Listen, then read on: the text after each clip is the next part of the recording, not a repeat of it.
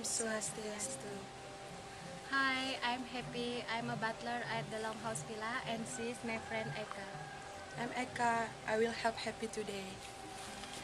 We both work at the Longhouse Villa, Jimbaran, Bali. Today, we would like to show you our traditional Balinese uh, dress and how to tie a sarong.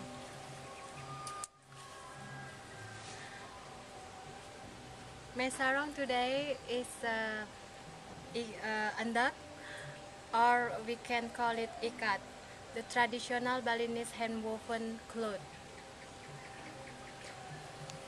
Usually I do it uh, by myself, but just for today, Eka will help me to do it. For the first step, uh, open your feet around one foot, and then um, start to run the ikat. If you are a woman, you might start from the right side, from the right side. Yeah. If you are a man, you might do from the left side.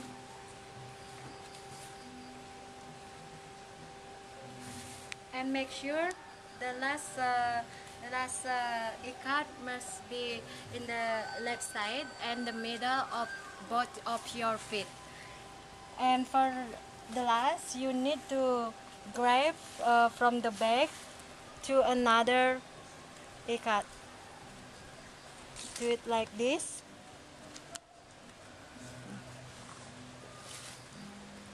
Finish.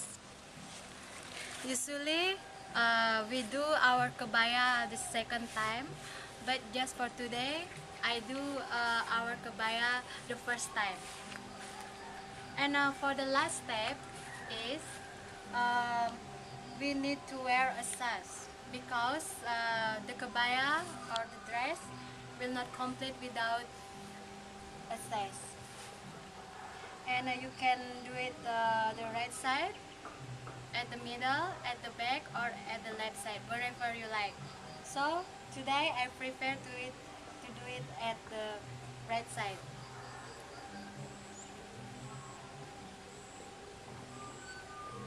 Okay, here we go.